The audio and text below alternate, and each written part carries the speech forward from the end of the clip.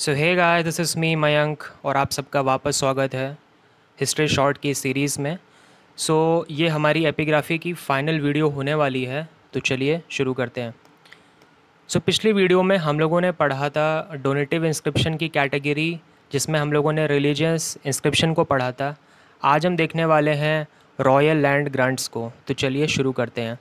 So royal land grants are the most important among the donative inscriptions so donative inscription में जो सबसे important category आती है वो आती है लैंड ग्रांट्स की। और जितने भी लैंड ग्रांट्स हैं वो मोस्टली हम लोगों को कॉपर प्लेट के ऊपर इंस्क्राइब्ड मिलते हैं।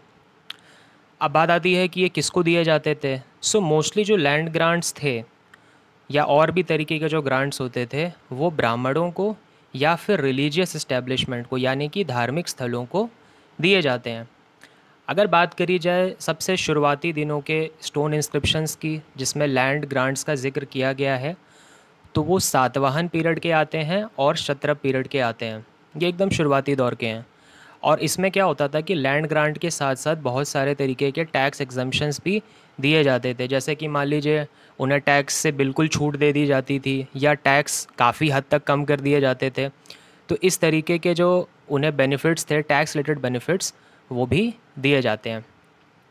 आगे जब हम बात करते हैं मिड फोर्थ सेंचुरी की सो यहाँ पर पल्लव डायनेस्टी है, वहाँ के हमें कुछ कॉपर प्लेट के ग्रांट्स हमें रिकवर हुए हैं। और अगर नॉर्थ इंडिया की बात करी जाए सो नॉर्थ इंडिया में one of the earliest copper plate grants from the north India is fourth century C Kalachuri grant of king Ishwararatha so Ishwar रथ राजा जो कि कल्चुरी डायनेस्टी का था हमें उसका नॉर्थ इंडिया में कॉपर प्लेट इंस्क्रिप्शन मिले हैं।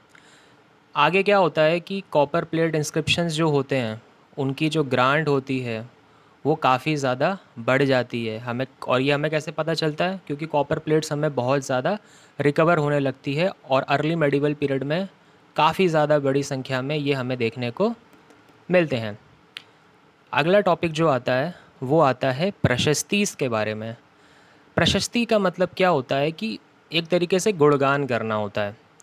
So most royal inscriptions begin with a prashasti. तो जितने भी मोस्टली जो रॉयल इंस्क्रिप्शंस होते थे, आपने मूवीज़ में देखा होगा ना, ऐसे कहा जाता है, एक आदमी आता है हाथ में एक रॉयल इंस्क्रिप्शन लेकर के कुछ कागज़ टाइप का और बोलता है कि, महाराजाओं के महाराजा, चक्रवर्ती राजा का ये संदेशा है समथिंग लाइक दैट तो वैसे ही यहाँ पर भी हम लोगों को प्रशस्ति, यानी कि कुछ गुणगान टाइप की बातें यहाँ पर लिखी होती थी राजा के बारे में, और फिर नीचे बाकी डिस्क्रिप्शन चीज़ों के दिया रहता था, बाकी इन्फॉर्मेशन दी रहती थी, ठीक है? सो रॉयल इंस्क्रिप्शंस क्या होता था? प्रशस्ति के साथ शुरू होते थे। फॉर रेफरेंस हाथी गुम्फा इंस्क्रिप्शन जो कि राजा खारवेल का था। खारवेल कहाँ? कलिंग में, और कलिंग कहाँ? उड़ीसा में, ठीक है? दूसरा है इलाहाबाद प्रशस्ति। सो so, इलाहाबाद प्रशस्ति किसकी है? समुद्रगुप्त की जो कि फोर्थ सेंचुरी का राजा था और ये गुप्त डायनेस्टी को बिलोंग करता था।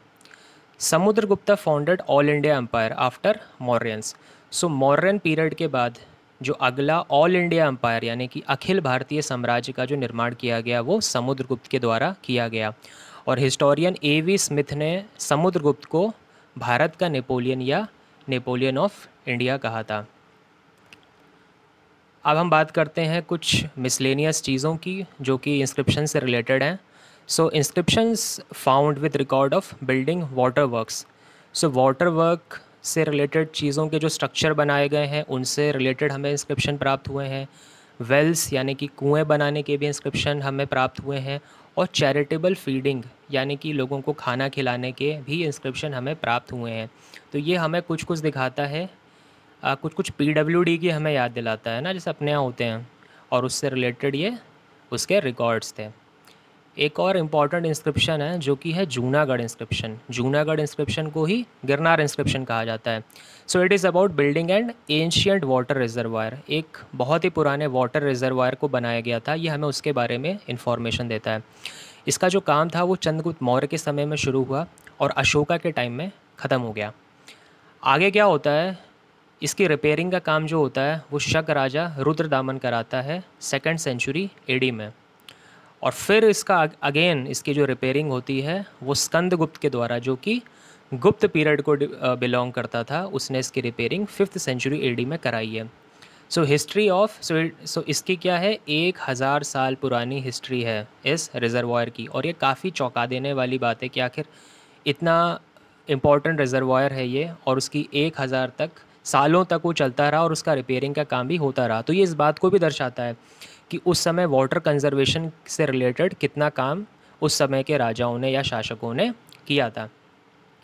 हमें कुछ और मिसलेनियस टाइप के इंस्क्रिप्शन देखने को मिलते हैं, जैसे कि labels graffitis religious formulae writing on the seal religious formulae जैसे कि आपने वो देखा होगा ना, ऐसे वो राशि वाशि टाइप कुछ बनाते हैं इस तरीके से, है ना? तो और कुछ फार्मूले वार्मूले टाइप लिखते हैं। तो वो सब हमें सील्स के ऊपर लिखे हुए मिले। So that is also a kind of inscription and that comes under the category of miscellaneous type कुछ इंस्क्रिप्शन हमें मिले हैं मध्य प्रदेश से, जिसमें हमें संस्कृत ग्रामर की हमें समरी देखने को मिलती है कि आखिर संस्कृत कैसे लिखी जाए, जो भी उससे रिलेटेड जो रूल्स एंड चीज़ें हैं, वो हमें एमपी के इंस्क्रिप्शंस में देखने को मिलती है।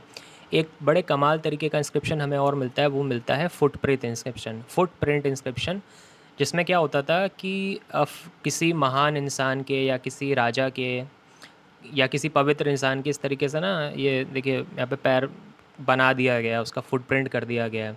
अब ये ये भी एक तरीके का इंस्क्रिप्शन है। अब लोग चाहे इसकी पूजा करें या फिर उन्हें याद करें तो ये लोगों के ऊपर होता था। अगला पॉइंट आता है inscription as a source of history यानी कि इतिहास के साधन के रूप में इंस्क्रिप्शन सो so, सबसे इंपॉर्टेंट पार्ट जो आता है वो आता है ड्यूरेबिलिटी मैनूस्क्रिप्ट जो होते हैं जो लिखित एविडेंस होते हैं जो कागज़ पत्री के होते हैं वो समय के साथ क्या होते हैं? ख़राब हो जाते हैं. लेकिन जो इंस्क्रिप्शंस होते हैं है ना वो ख़राब नहीं होते. क्योंकि ये स्टोन्स के ऊपर होते हैं, है ना? वुड के ऊपर होते हैं मेनली या कॉपर प्लेट के ऊपर होते हैं तो ये काफ़ी ड्यूरेबल होते हैं। Usually contemporary to the event of speaking मतलब जिस इवेंट के ये होते हैं, जिस इवेंट के बारे में ये बातें बता रहे होते हैं, ये जनरली उसी पीरियड में उके रह जाते हैं। और ये एक टाइम और एक जगह से कनेक्टेड होते हैं। Difficult to make changes and can be detected अब मान लीजिए कोई इंस्क्रिप्शन छप गया, मान लीजिए उसमें कुछ इस तरीके से लिखा हुआ है तो उसको फिर चेंज करना कि आगे, ऐसा नहीं था कि आगे आकर के उसे कोई मिटा दे। अगर मान लो कोई मिटा भी देता या उसमें कुछ और लिखने की भी कोशिश करता तो उसे पकड़ा जा सकता है कि हाँ किसी ने इसके साथ छेड़छाड़ की छेड़खानी की है। तो ये इसका एक बहुत बड़ा एडवांटेज है। अगर लिटरेरी सोर्सेज से इसको कंपेयर किया जाए तो ये हमें जो है एक्चुअल इन्फॉर्मेशन देता है लोगों की कि लोग क्या करते थे। जबकि लिटरेरी सोर्सेज जो होते थे, वो थियोरेटिकल बातें ज़्यादा करते हैं।